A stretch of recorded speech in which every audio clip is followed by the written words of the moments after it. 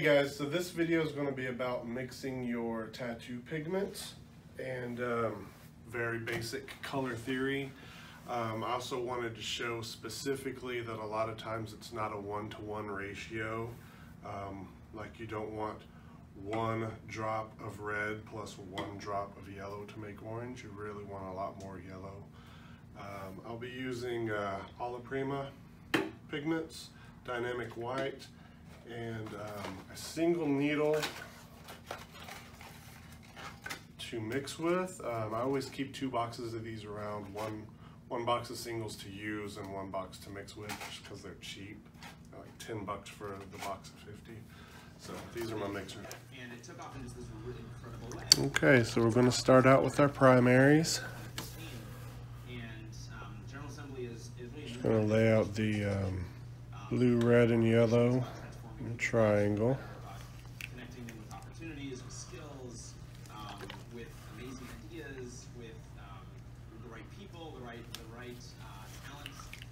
I know it's exciting, right? you know it's not just about doing what's money but it's about doing what would you know hits you here And then we're going um, to put white all around the perimeter.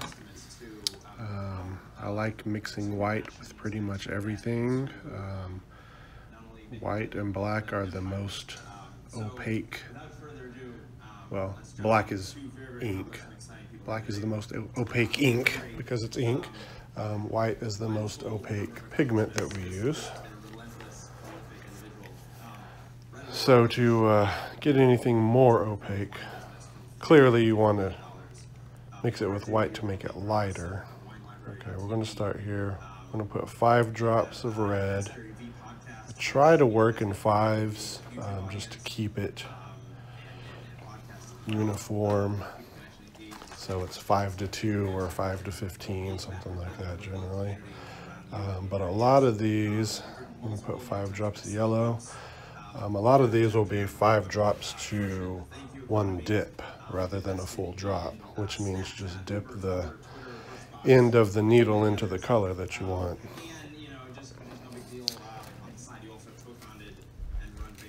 Get our needle out here.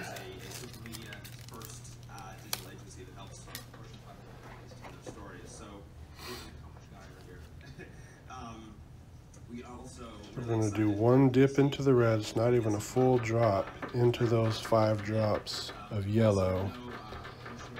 And that's going to create a pretty nice orange for you. Um, it's, it's, more of kind of a bright orange. It's the orange that um, I generally think of um, when I want to go for an orange. Same thing here, we're going to do one dip of blue into that red. Um, we'll probably need a bit more. I'm trying to make the, the darkest version here.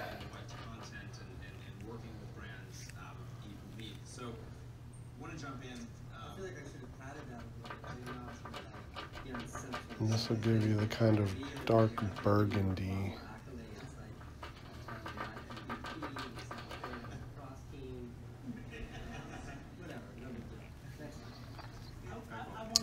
So tattoo pigments don't mix exactly the same as paint does. It's similar as long as you know um, basic color theory and how to do things, you can get where you're going. But if you have experience mixing oil paint or acrylic paint, it's not going to be the exact same. It's going to be very similar.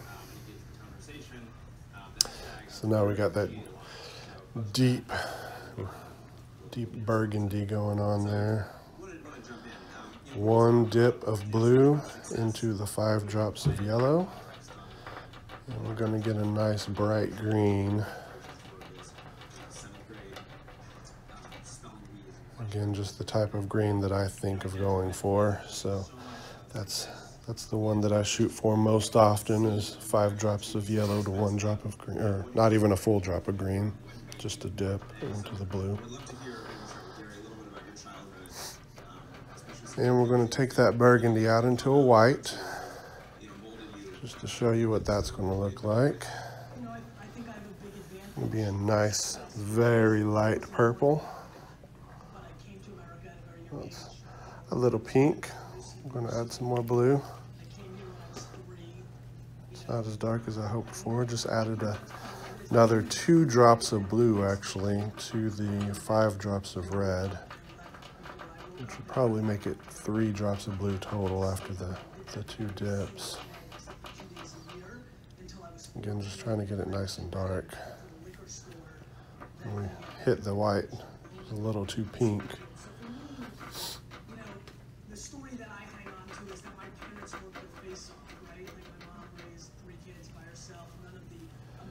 This is always an experiment when I lay a bunch of uh, ink caps out there. Certain things I know, basic formulas in my mind, but it's always a little bit of experimenting. Just trying to get that real light purple.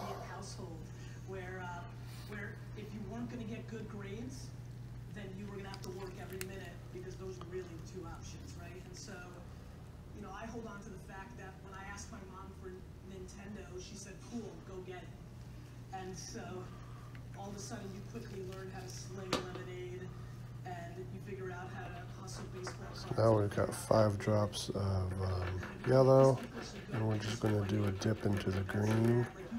Um, I probably should have pulled this back on the orange side because this is going to be more yellow than blue, but oh well, it's not what I did.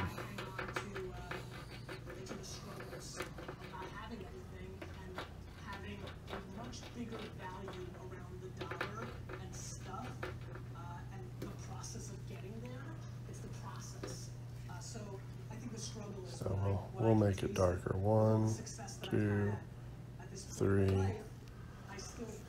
Three drops of blue to the five drops of yellow.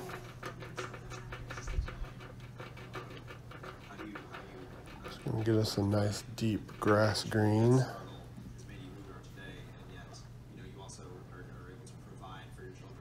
A little more blue.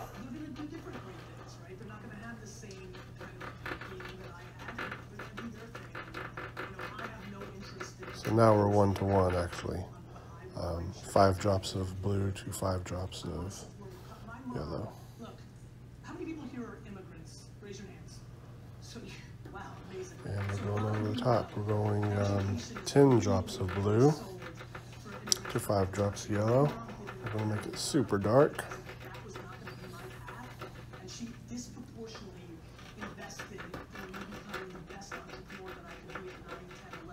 When you take this super dark green out to the white, you'll get a, uh, a nice seafoam green.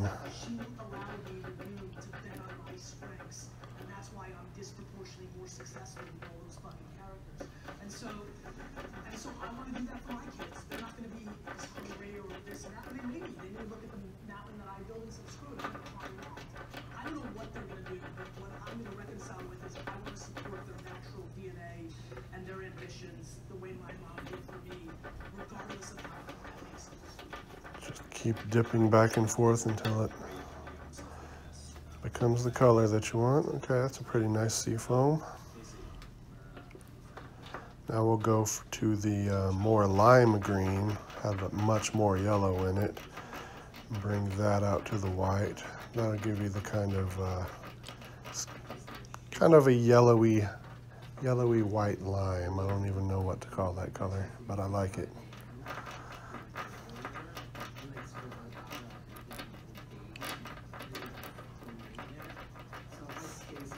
Always mix everything with white just to see what it's going to uh, mix out into. I'm not going to do it this time, but uh, I also like to do um, grays. If I make two caps of something, I'll mix a little gray into it as well, kind of mute it out. Um, you can also mute out by using uh, a color on the other side of the color wheel. Um, I just like to play with the grays.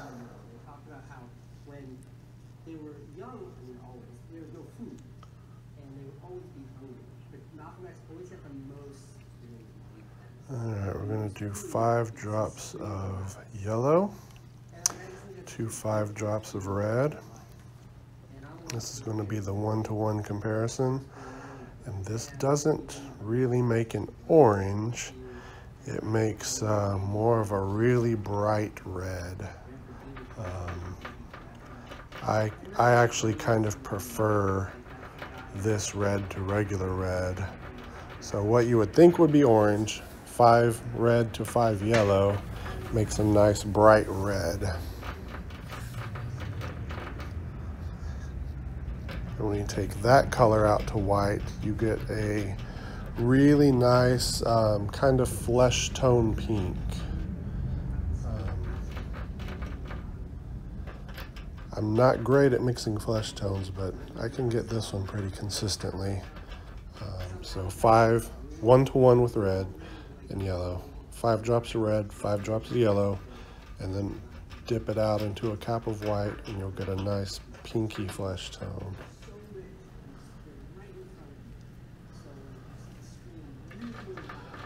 Go into that original orange, which was much more yellow than red. Pull that out into the white and you'll get kind of a, a really yellowy orange. More of kind of a, a highlight color.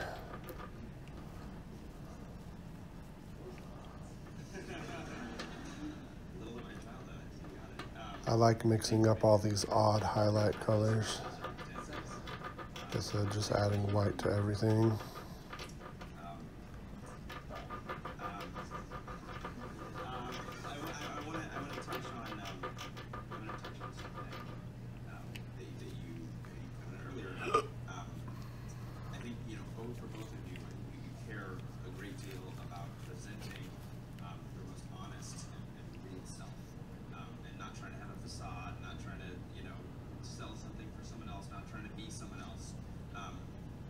yourself forward and, and you know, Okay, be so that was honest 10 drops of red. um, but also being honest with yourself, you know. And so I'm curious, like when, you think about honesty and transparency, especially as it relates to the content, Five drops of blue. Where does it start? Where, This is actually going to be the nice, super dark version that I was going for earlier. Again, the colors are going to be out of order because um, this, this dark one should have been higher in the color wheel, but it's just an experiment. This, when you bring this really dark mixture, really dark burgundy, um, out to the white, you're going to get a nice soft purple. the genesis of Wine Library to me was, hmm, this YouTube thing's gonna be really big. I always wondered what would happen if QVC sold wine. I've always thought that I could uniquely be good at it. Let me do that on this thing called YouTube, because it's free. If there- I can put up the video and it's not gonna cost me anything, I'm gonna do this. So I send one of my stock boys to best These purples are looking a little bit more on the pink side through the um, camera lens, um, but it's actually a, a nice shade of purple. I'm nervous because at this point I'm selling fifteen to twenty million dollars a year of premium wine to about three to I wish that would show what the color really looks like. As this whiz kid wine But you can see in real life when you do the experiment for yourself. We're going to um, make another in between. because I was this serious thing, right? And so what's really interesting about this story is the following. Use Elmer's glue to, to put the uh, ink caps down. It holds them in place a whole lot better than the than the A and D ointment.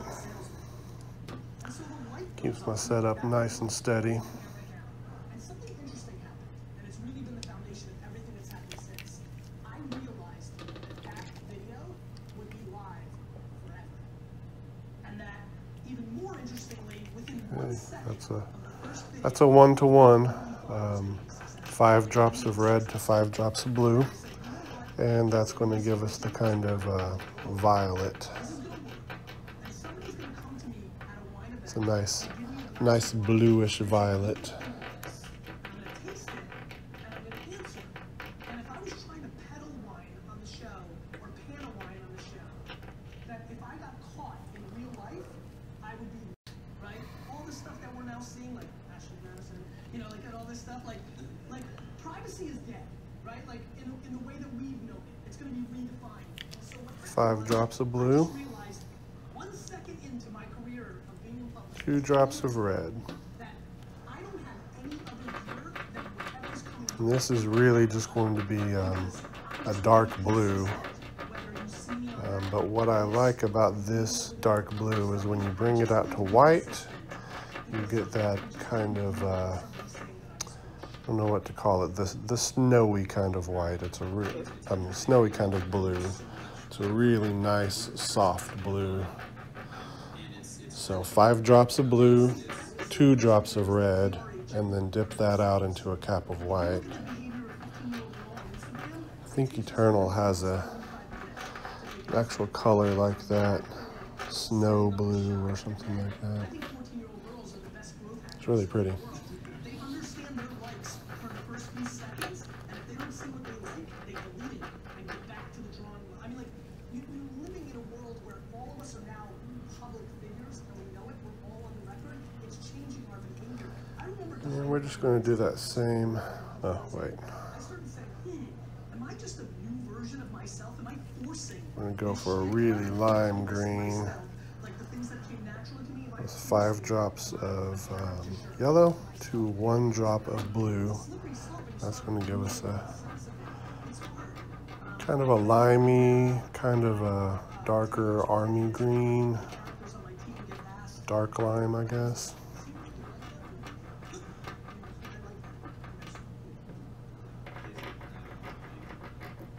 Then you bring that one out to white just for fun. It's, it's not much different than the original kind of yellowy green when you bring that out to white.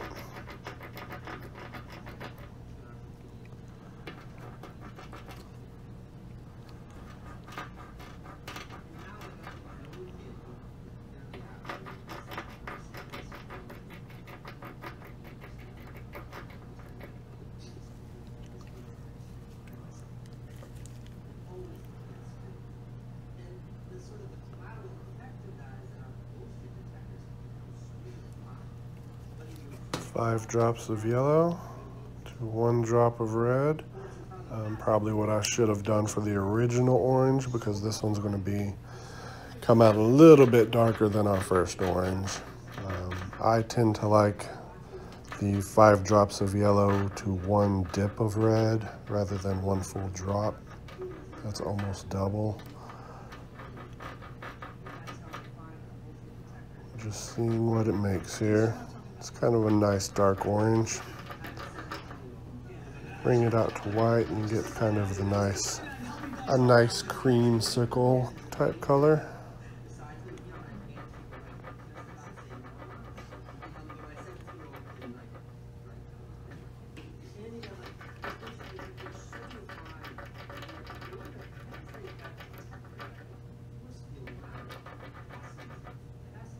Should have put some music on for you guys. I'm sure this is boring as shit. Unless you're working along with the video just for fun.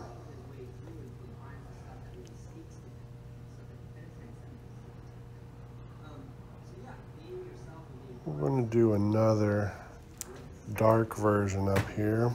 Um, the first one just came out the really dark grass green, which works out to a nice um, seafoam when you do the white. Now we're going to go for a little more on the turquoise side. There's something else that I wonder if enough So that's five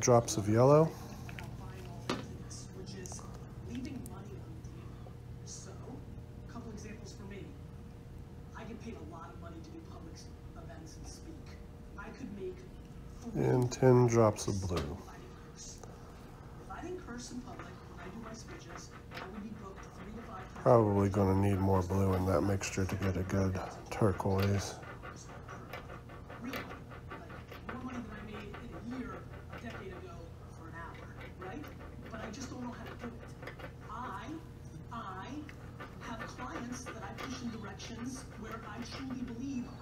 When you see my other hand come into frame, we're going to go ahead and add five other drops of blue. So this is going to be 15 drops of blue to five yellows. When you see my other hand come into frame, that's because um, my mixing hand is moving down the needle towards the desk. So I grab the top of the needle with the other hand to reposition my hand higher in order to go back down again. Just an inevitable part of mixing. Your hands will slide down like you're trying to set a fire.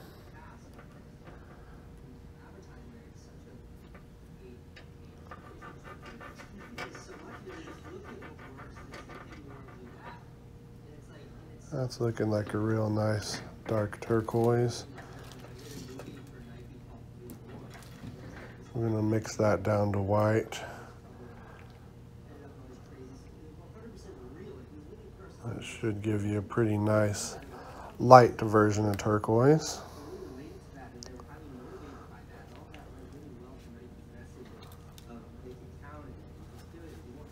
Then like a year later, degree deodorant.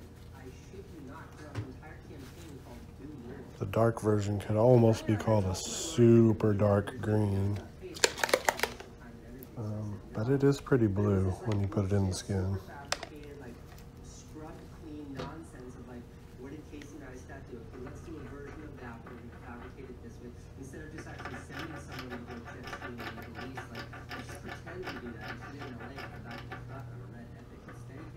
Like none of you ever heard of some bullshit campaign by some fucking deodorant company. Like, like 15 million people saw it live. Just a couple of dips into our dark, our dark version. Just, um, just have to keep going back and forth till you get the color that you like.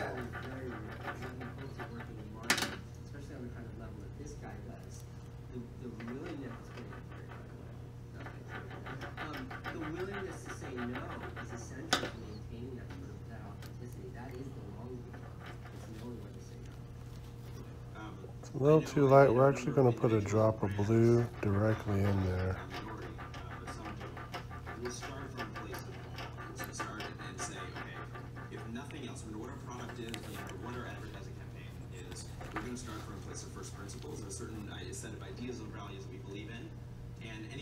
Two drops of blue. So 15 drops of blue to 5 drops of yellow. Mix that up nice and dark. When you bring that over to the white, add two more drops of blue into the white. Now you're going to get a real nice, pretty turquoise. It's a real light version of turquoise. That one took me years to figure out. I don't know why, but turquoise was just a mystery to me for a long time. independent thinkers. So how do you keep a, a team that size? Jerry has many multiples, but how do you keep a team that size to adhere to a set of principles and rules? But you realize like All right, so it's not a perfect experiment, but hopefully um, it'll inspire you to get out some ink caps and mix some pigment up. Play with it. Um, you don't need all these millions of bottles, primaries in white um, and black.